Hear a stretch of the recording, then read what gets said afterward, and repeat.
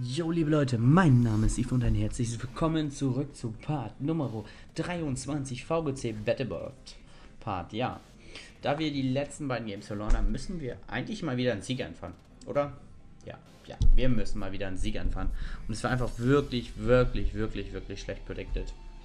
Und ich hoffe, es wird jetzt besser. Wir stehen jetzt echt, eigentlich standen wir sehr gut da, aber mit den zwei Niederlagen stehen wir jetzt wieder echt echt scheiße. Echt scheiße. Und ich muss, glaube ich, aufhören, mal so abends mal alleine zu lernen, ohne aufzunehmen. Weil das gleicht echt die äh, Wertung ein bisschen raus. Aber, aber wir kommen damit auch ab und zu mal ein bisschen höher, ne? Das ist ja die Sache. Wir suchen uns jetzt erstmal einen neuen Gegner. Wollen wir mal überlegen. Ein Italiener wird es. Wird es ein Italiener oder ein Spanier, wäre auch cool. Portugiese. So da, so die, die, die Ecke wäre. Wäre nice. Wäre nice. Aber kriegen wir das, was wir uns wünschen oder nicht? Kriegen wir das jetzt? Hm. Hm, hm, hm, hm, hm. hm jetzt die Frage. Es braucht ganz schön lange. Warum suchen wir so lange? Komm schon. Beeil dich bitte. Beeil dich bitte. Bitte. Bitte, bitte, bitte, bitte. Bitte. Bitte, bitte, bitte, bitte. Japaner. Mal wieder wie immer ein Japaner. Oh Mann. Warum immer Japaner? Gut, wir sehen hier Elfun, Glurak, Gardevoir, La Lasho King. Okay, okay. Okay, Lasho King. Dann, dann ist es eben ein Lasho King. Bitte. Äh, Schlapper und Nachtara. Okay, zwei Megas. Auf jeden Fall ein Elfun.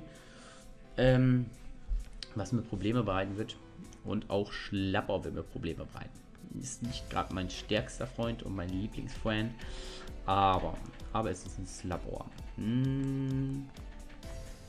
Wir liegen hier mit Lando und mit Bisaflo aus dem Grunde. Äh, Elfun tankt keinen, ähm, beziehungsweise wir können mit einer Kehrtwende raus bei Elfun. Ähm, Bisaflor ist auf jeden Fall safe gegen Gardevoir, Lasho King und Lopani kann uns so viel nicht machen, wenn es kein Icy hat. Und da wir den Bedroher gleich in der ersten Runde rausbringen, stehen wir da eigentlich ganz gut da. Und wir würde, ich würde eigentlich sagen, dass wir noch unser Heatwave mitnehmen, weil wenn der Heatwave kommt oder ein Flammensturm, können wir mit Heatwave da gut gegen was machen. Und es ist als einziges Problem wäre halt nur dieses Lasho King, was Heatwave und was ihm so ein bisschen gefährlich wird. Und ich würde sagen, wir nehmen auch nochmal unser Aero-Kex mit, weil dieses Low Honey an sich hier sehr starke Probleme uns bereiten wird, wenn es dabei ist, weil wir müssen so ein bisschen gucken, dass wir es unten halt im Angriff. Und ich gehe mal davon aus, er wird hier mit vielleicht mit 11 und mit Low Honey liegen. Auf jeden Fall wäre es ein sehr, sehr guter Lied für ihn. Und ist die Frage, hat er den Icy drauf? Hm, ich gehe da mal von aus, ja. ja. Oder wird er hier mit Glurak lieden? Auf jeden Fall wäre es beides ein gutes Lied und er liedet hier mit Nice. Ganz anderen Lied, als den ich erwartet habe. Finde ich auf jeden Fall nicht schlecht. Dann können wir jetzt, ähm, können wir dieses nach Tara gleich im ersten Turn rausnehmen. Nee, wir gehen hier für eine Kehrtwende, gehen auf das Lasho King, gehen wir in die Mega-Entwicklung und ähm, gehen dann. Mh, hm, ein Zeitschock würde uns auf jeden Fall nicht umbringen. Das ist ein Lasho King. Gehen für die Edesam auf Lasho King. Damit wir auch guten Damage drauf haben. Vielleicht wieder cooler Augen drauf haben auf Natara. Das ist ja eine Prio-Attacke und senkt den Angriff direkt um eine Stufe. Gehe ich aber mal nicht von aus. Lasho King wird vielleicht einen Eisstrau auf Lendo äh, direkt machen. Und äh, Nachtara spielt wahrscheinlich auch ein Toxin drauf, um das mal was wir reinbringen, um das zu toxinieren. Es könnte alles möglich sein. Wir gehen erstmal in unsere Mega-Entwicklung, wie gesagt, bringen dann die Edesamen auf, auf äh, Lasho King raus und wollen dann auch ähm, Min Wende direkt wieder raus. Er macht keinen Protect, das heißt, wir kriegen ein bisschen Damage zumindest drauf. Wow, das reicht für ein Turret. Hätte ich jetzt nicht erwartet. Ich gedacht, das ist bulkiger. Oh shit, das ist ein Schwächenschutz. Das wird jetzt auf jeden Fall ausreichen. Oh shit. Das wird auf jeden Fall ausreichen, wenn er jetzt mit einem Zeitschock draufgegangen ist. Auf jeden Fall. Und ähm, wir gehen jetzt in unser Aerokex, weil ich den Mogli brauche. Ich brauche den Mogli. Wenn, wenn das jetzt wirklich auf, auf unser ähm, Visa-Floor gegangen ist, dann haben wir wirklich starke Probleme, weil ich glaube nicht, dass wir das tanken. Okay, okay, und was, was macht er jetzt? Er geht in Flugzeit. Oh shit. Okay, ist nicht, ist nicht so schlimm. Was macht er hier? Geht er auf den Core Mind? Hm. Er geht auf den Gedankengut. Oh, nice. Nice. Damit können wir in der nächsten Runde dieses hässliche Mon rausnehmen, dieses Lasho King. Weil es mit Schwächenschutz sowieso schon sich geboostet hat. Und wir sind eh schneller. Und ich möchte nicht, dass sich dieses Nachtara noch einmal boostet. Das möchten wir nicht. Deswegen gehen wir jetzt auf... Ähm ja, ich doch. Also, na, wir gehen auf den Giersauger. Das ist die safeste Variante. Und gehen auf den Mogelhieb auf Nachtara. Und wir müssten auch Nachtara außen können. Wenn wir den Abschlag drauf machen. Okay, Mogelhieb trifft, ist, ist gut.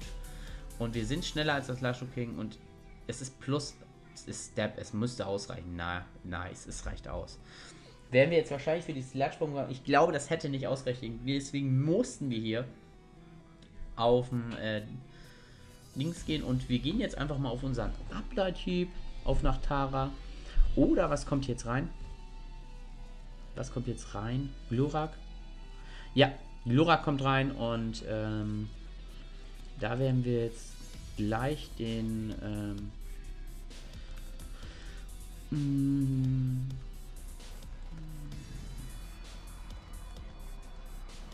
wir gehen auf unser Heatwave. Ich hoffe, dass er die Heatwave gemacht hat. Oh, bitte lass es kein X sein. Bitte nicht.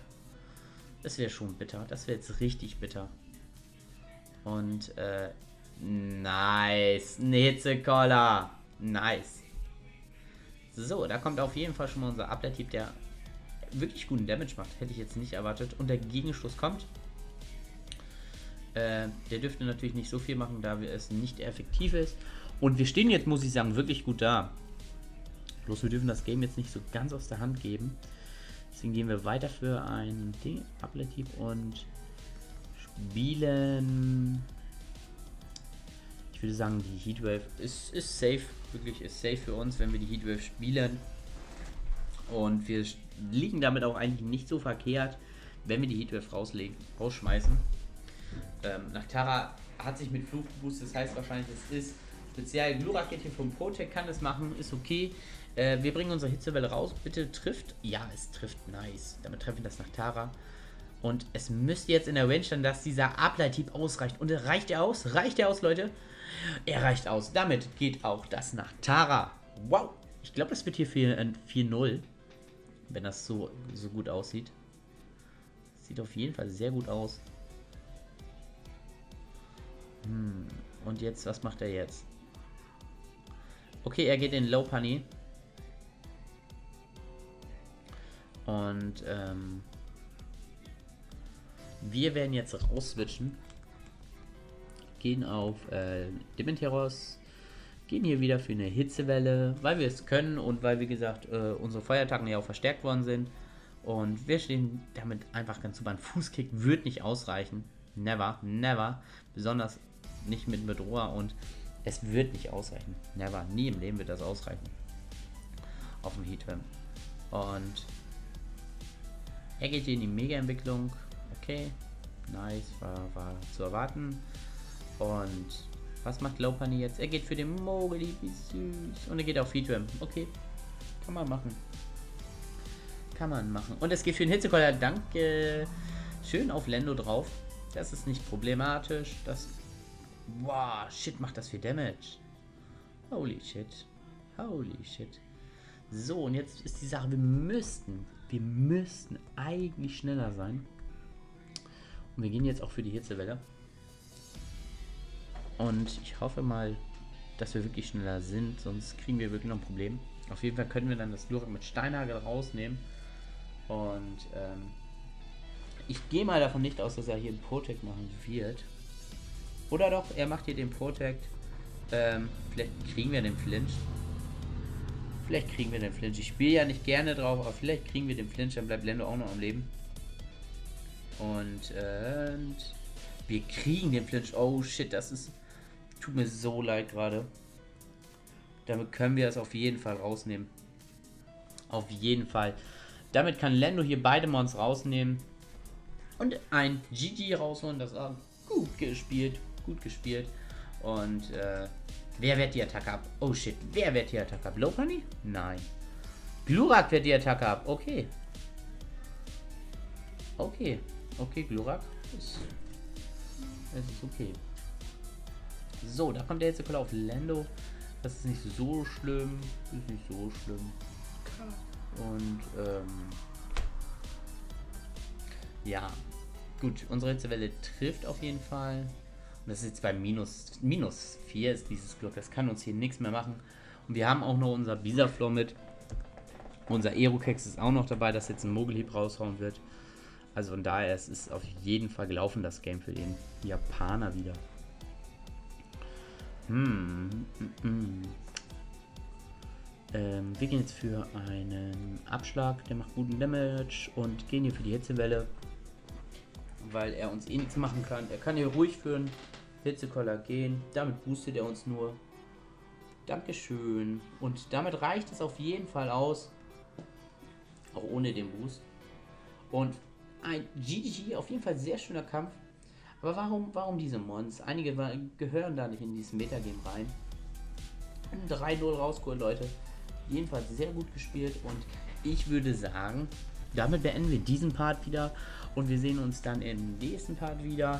Bis dahin würde ich sagen, ciao Leute, über einen Kommentar also würde ich mich sehr, sehr, sehr freuen. Und ich hoffe, euch gefallen diese Folge C-Kämpfe. Das ist jetzt schon der dritte. Und es muss mal gucken, dass ich vielleicht noch ein paar. Ja, ich glaube, ich mache noch ein paar mehr heute. Oder noch ein, zwei Kämpfe. Also nicht wundern, wenn ich denke, oh Gott, der hat ja mal so ein graues T-Shirt an. Die sind ein bisschen vorproduziert, weil ähm, ich ja nicht jeden Abend, äh, manchmal nicht jeden Abend aufnehmen kann, aber so meistens nehme ich am einen Abend so ein, zwei Kämpfe dann direkt auf. Also bis dahin, Leute. Bis zum nächsten Part. Ciao.